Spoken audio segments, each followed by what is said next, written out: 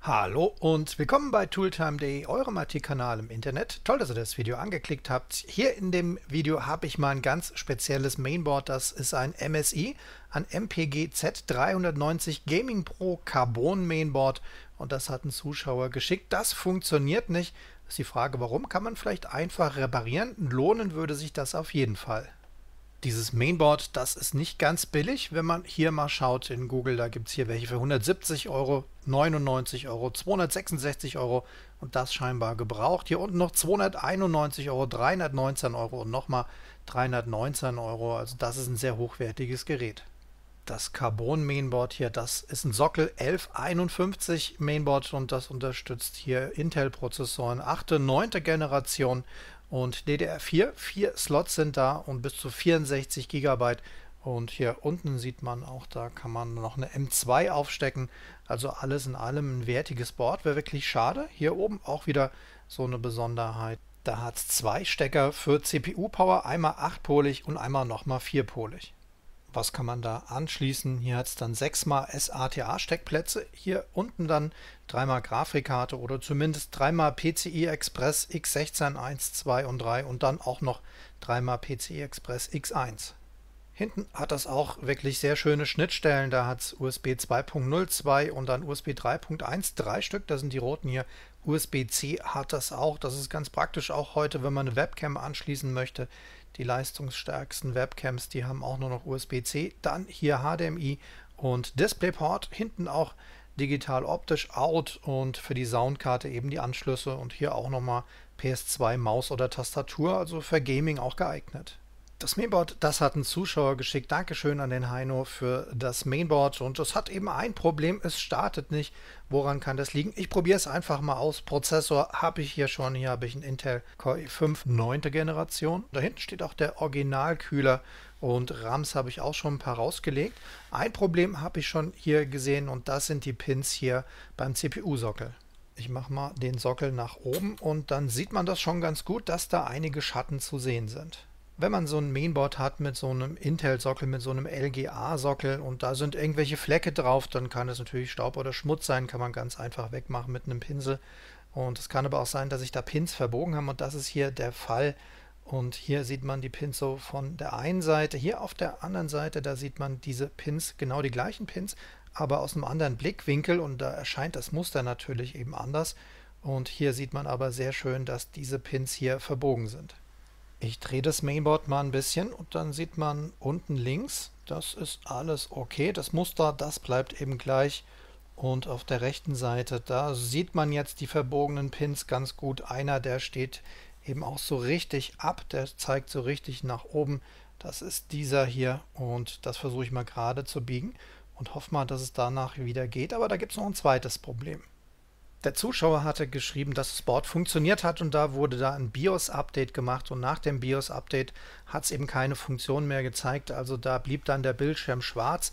Gibt zwei Möglichkeiten, entweder das BIOS-Update war tatsächlich der Grund, da ist ein falsches BIOS drauf. Es kann natürlich auch sein, dass hier vor dem Einbau schon irgendwas auf den Sockel draufgefallen ist. Und das muss auch gar nichts Großes sein. Das reicht, wenn es auch nur ein kleiner Schraubenzieher ist, der hier so aus dieser Höhe drauf fällt und dann verbiegen sich die Pins.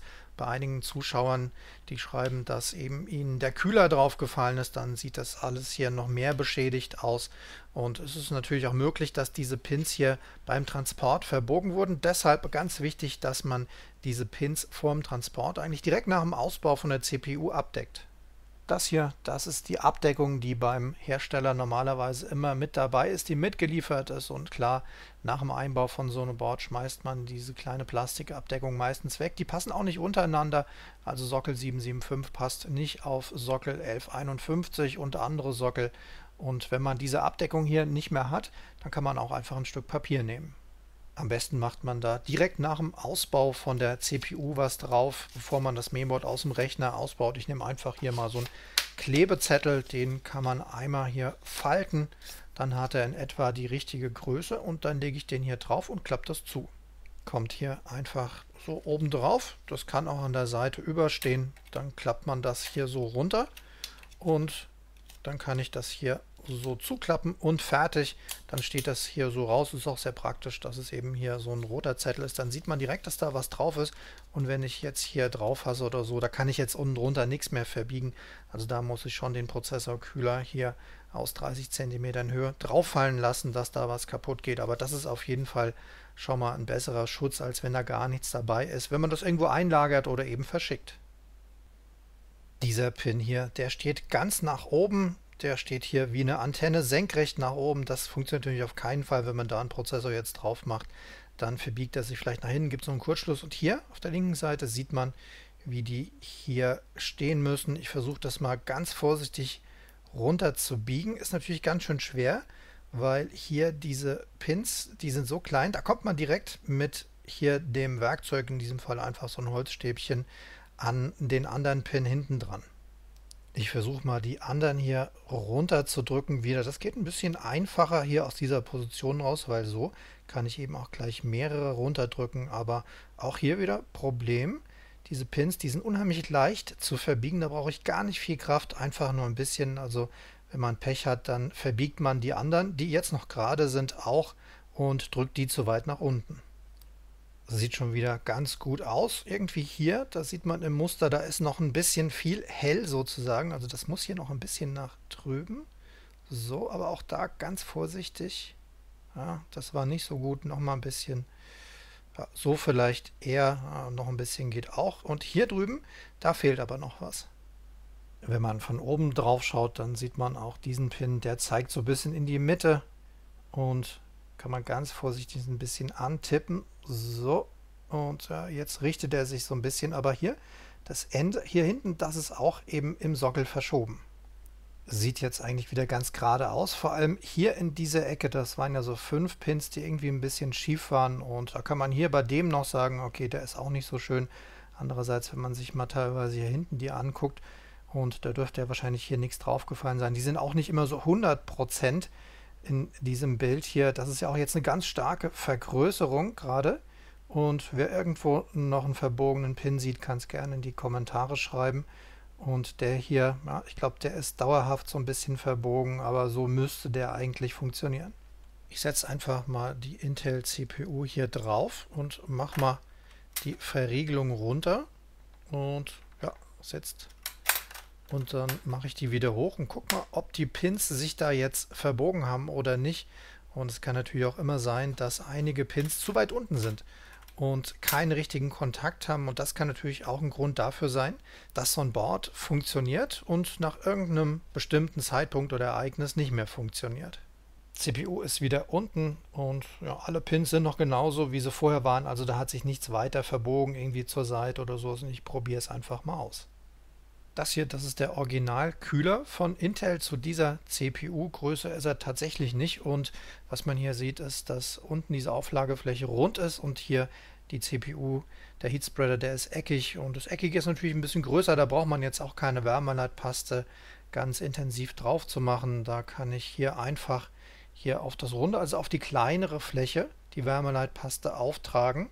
Und dann reicht das auch. Sonst passiert eben genau das, was hier bei irgendeinem anderen Vorbesitzer passiert ist, dass zum Beispiel der Wärmeleitpass hier neben sich in den Kühler reindrückt in diese Kühlrippen. Ich habe das jetzt alles zusammengebaut, Prozessor drauf, Kühler drauf und hier unten die Stecker zum Einschalten und hier das RAM-Modul habe ich auch reingesteckt in genau den Steckplatz, den MSI hier vorschlägt und hier im Handbuch ist es ein bisschen widersprüchlich beschrieben. Da steht hier dann im Originalhandbuch von MSI, wie man die RAM-Module einbauen kann oder einbauen soll. Das ist hier so ein bisschen die Frage. Hier oben steht nämlich Memory Module Installation Recommendation, also Empfehlung. Also das hier ist nur eine Empfehlung. Da sieht man verschiedene Schemata. DIM A2, genauso habe ich das jetzt hier mal gemacht zur Sicherheit. Und interessanterweise steht hier unten drunter dann, aber important, also wichtig, das eine RAM-Modul, wenn man nur eins hat, immer auf jeden Fall in DIM A2 installieren, genauso wie ich das gemacht habe. Also hier oben ist es nur eine Empfehlung und hier unten ist es wieder wichtig. Und interessant ist eben, ich habe schon sehr viele Mainboards getestet mit verschiedenen RAM-Modulen, verschiedenen Bestückungen. Und komischerweise hat es bisher immer funktioniert, auch wenn man das RAM-Modul woanders reingesteckt hat. Es kann natürlich sein, dass das RAM-Modul hier ein bisschen langsamer ist, dass das Mainboard ein bisschen weniger Performance hat, wenn man das woanders reinsteckt. Prinzipiell funktionieren tut es aber eigentlich schon. Alles fertig soweit, kann ich direkt jetzt testen. Was ich aber noch brauche, hier ist eine Grafikkarte, weil der Prozessor, der hier drin ist, das ist ein Intel Core i5 9400F und bei den F-Modellen ist die Grafikkarte ja deaktiviert. Also ich habe hier so einen Coffee Lake drin und wenn ihr euch einen Prozessor kauft, kauft euch am besten keine F-Version, auch wenn die ein bisschen billiger ist. Da hat man eben im Problemfall immer mal die Möglichkeit, die Grafikkarte auszubauen und die Onboard-Karte zu nutzen, wenn die Grafikkarte ausfällt oder wenn gar nichts mehr startet. Und hier brauche ich aber eben eine eigene Grafikkarte. Ich schalte mal ein, mal gucken, was da passiert. Aber interessant, da passiert überhaupt nichts. Also hier leuchtet auch keine LED oder ähnliches. Könnte vielleicht daran liegen, dass hier keine CMOS-Batterie drin ist. Das ist bei neuerer Elektronik tatsächlich eben öfter der Fall. Früher war das eigentlich egal, aber Mittlerweile nicht mehr. Ne, also Netzteil funktioniert, das habe ich eben nochmal getestet und da liegt auch Strom an. Ganz neue CMOS-Batterie eben ausgepackt und die kommt jetzt hier mal rein und Grafikkarte wieder drauf. Netzteil habe ich hinten wieder eingeschaltet und ne, das sieht wirklich nicht gut aus für dieses Mainboard ist wirklich sehr interessant. Ich hatte schon viele Mainboards, wo das BIOS zerflasht war, wo ein falsches BIOS drin war oder das BIOS korrupt war. Interessant ist aber, dass diese Mainboards sich immer eingeschaltet haben. Also man hat die angeschlossen, hatte hier an dem Schalter eingeschaltet, dann lief der Lüfter, kam natürlich kein Bild, hat auch nicht unbedingt gepiept, manchmal hat es gepiept, aber irgendeine Reaktion war da immer und das ist hier gar nicht der Fall. Also hier ist komplett alles ohne Funktion. Das Mainboard hat ja eine Besonderheit, das hat hier zwei Stecker für CPU-Strom-Support, einmal so einen 8-poligen und dann nochmal den 4-poligen und da habe ich hier nochmal einen Adapter, kann ich das nochmal probieren, kann ich hier so drauf stecken und dann kann ich mal gucken, ob es dann funktioniert. Ich probiere es mal ohne Grafikkarte, aber da tut sich auch nichts. Ich habe hier vorne diese Adapter mal abgemacht. Und nö, komplett ohne Funktion. Der Kühler, der sitzt richtig drauf, der Prozessor sitzt richtig drauf. Also ich vermute mal, dass es vielleicht auch einen ganz anderen Grund hat. Ich mache mal so ein RAM-Modul raus. Vielleicht ist ja auch hier irgendein Problem mit dem RAM. Das RAM-Modul selber ist aber ganz neu und da passiert auch nichts. Man hört auch nichts, da klackt auch nichts oder sowas. Und piepen tut es eben auch nicht. Lautsprecher ist ja hier vorne dran. Das Carbon Mainboard, das hat hier vorne so einen großen Kühlkörper und den kann ich abmachen. Das ist ein Kühlkörper für eine M2 SSD. Die kann hier vorne eingebaut werden und hier sieht man den Anschluss. Und das ist der Kühlkörper selber. Das ist hier wahrscheinlich Aluminium, fühlt sich zumindest so an. Und hier unten, da ist so ein Wärmeleitpad. Und ich gucke mal hier, aber hier ist auch keine Beschädigung oder sowas erkennbar. Ein bisschen zu funktionieren scheint es noch, wenn man hier das CMOS hier löscht mit dem Schraubenzieher. In diesem Fall kann ich hier auf die beiden Pins halten und das Ganze dann mal einschalte. Dann läuft es mal kurz an, geht direkt wieder aus. Also irgendwo ist hier ein Defekt. Auf dem Mainboard denke ich mal drauf. Man löscht das BIOS hier in diesem Fall mit dem Schraubenzieher. Halte hier diese beiden Kontakte bei dem JBED Jumper zusammen und dann drücke ich hier auf den Einschalter drauf. Dann lasse ich hier los und dann läuft es mal kurz an. Stellt wahrscheinlich irgendeinen Fehler fest oder irgendwas fehlt. Und das war es dann gewesen. Und da sieht man hier, das kann man scheinbar auch beliebig oft wiederholen.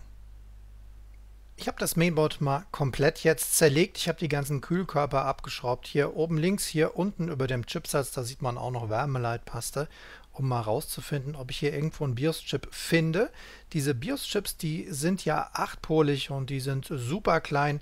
Könnte zum Beispiel dieser hier sein, neben der Batterie könnte aber auch hier unten der sein und da sind verschiedene von drauf und alle, die ich bisher identifizieren konnte, wo ich die Bezeichnung ablesen konnte, das waren sie nicht gewesen.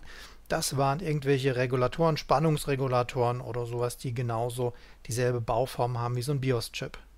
Das hier, das ist die Lieblingsseite aus dem Handbuch für das MSI Mainboard und hier unten steht dann, was man machen kann, wenn der Computer nicht mehr hochfährt, nachdem man das BIOS abgedatet hat. Entweder BIOS löschen, also mit dem Jumper, also mit dem Schraubenzieher, was ich da gemacht habe, oder Alternative, man soll das zweite BIOS benutzen auf dem Board und dann in Klammern nur für Mainboards, die ein Dual BIOS haben und natürlich hat das Mainboard kein Dual BIOS. Die meisten Mainboards haben kein Dual BIOS, außer bei Gigabyte. Da haben sehr viele Mainboards oder fast alle eben ein Dual BIOS und da ist es auch wesentlich einfacher, nach einem falschen BIOS-Update seinen Rechner wieder in Stand zu setzen.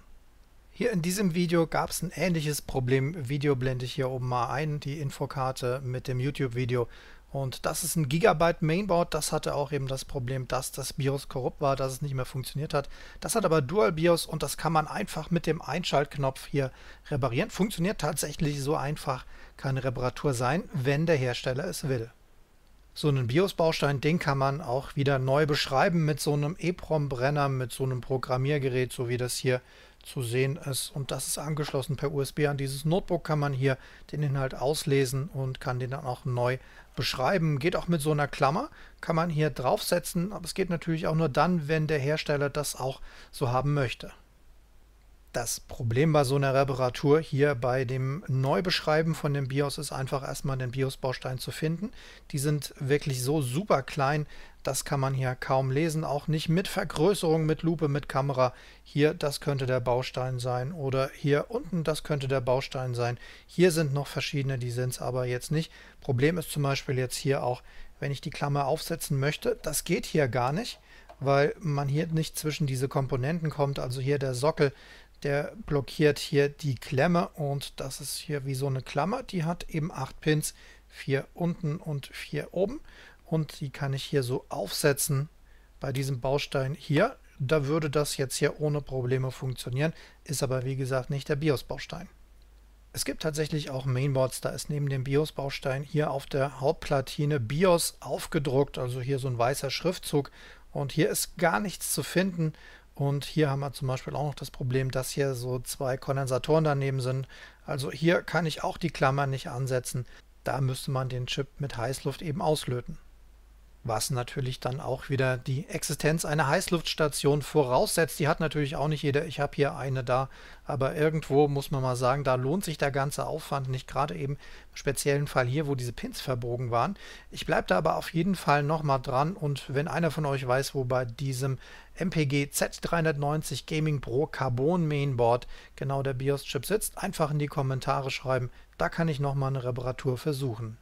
Wenn ihr so ein Programmiergerät für einen BIOS-Baustein in Aktion sehen wollt, wie es auch funktioniert, wie man auch ein Mainboard herstellt, was servicefreundlich ist, dann schaut mal dieses Video Infokarte, blende ich oben mal ein. Da habe ich hier das Programmiergerät genommen und habe hier ein H81M-HDS Mainboard repariert. Das geht da ohne Probleme und das war auch noch so freundlich, dieses Mainboard. Da konnte man hier den BIOS-Baustein auch noch rausnehmen und direkt in das Gerät reinsetzen.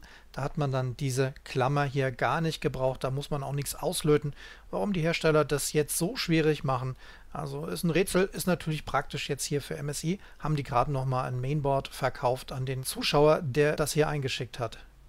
Reparaturfreundlichkeit ist da wirklich leider gleich null, muss man einfach mal so sagen. Einmal, dass hier diese LGA-Sockel derart gestaltet sind, dass wenn wirklich irgendwas drauf fällt, das Mainboard eigentlich komplett kaputt ist. Früher konnte man eben bei einem Prozessor mit den Beinchen, bei einem Ryzen zum Beispiel geht es ja heute noch, die Beinchen einfach wieder gerade biegen. Das geht ja schon, das ist machbar. Nicht schön, aber es geht. Aber hier so einen Sockel zu reparieren, da die kleinen Pins wieder gerade zu biegen, diese Federn, die da drin sind, fast unmöglich. Dann zweites Problem eben hier BIOS, auch fast unmöglich, den BIOS-Baustein überhaupt zu finden. Und dann kommt man entweder nicht ran oder der ist irgendwie so versteckt unter irgendwelchen Abdeckungen, die ich alle abgeschraubt habe, dass man den erst gar nicht findet. Wenn ihr noch eine Idee habt, schreibt es einfach unten in die Kommentare. Das würde mich freuen. Oder ihr sowas schon mal repariert habt, wie ihr das gemacht habt. Vielleicht habt ihr auch selber das Gaming Pro Carbon und könnt da irgendwelche Tipps geben. Und wenn euch das Video gefallen hat, gebt ihm einfach einen Daumen hoch. Vergesst nicht, den Kanal zu abonnieren und guckt mal unten in der YouTube-Videobeschreibung. Da gibt es noch weitere Links zu ähnlichen Videos auf dem Kanal, wie man Mainboards erfolgreich repariert. Besucht mal die Seite tooltime.de, das ist diese hier. Da gibt es über 380 Tutorials und Anleitungen, wie man sein Notebook repariert, wie man seinen Drucker repariert, zum Thema Windows 10, zum Thema Windows 11, zum Thema Linux, wie man sich einen eigenen Rechner baut, wie man seinen Rechner schneller macht, wie man sein Windows aufräumt und schneller macht. Schaut es euch einfach mal an. Besucht einmal die Seite Tooltimepedia. Das ist jetzt diese hier. Tooltimepedia ist ein Hardwarearchiv aus drei Jahrzehnten, 30 Jahre IT-Geschichte. Da findet ihr alte Prozessoren, neue Prozessoren, Mainboards, Festplatten, Grafikkarten. Da gibt es auch viele Spiele. Schaut es euch einfach mal an, was es damals gab, was die Sachen damals gekostet haben und was die heute noch können. Hier blende ich noch ein paar Infokarten ein zu anderen Videos auf dem Kanal. Da seht ihr dann, wie man Notebooks installiert, ganz neue Notebooks richtig einrichtet, wie man Windows 10 repariert, Windows 10 schneller macht, wie man Drucker installiert und Drucker repariert. Schaut es euch einfach mal an, da sind jede Menge Sachen für euch dabei. Klickt einfach auf die Infokarte drauf.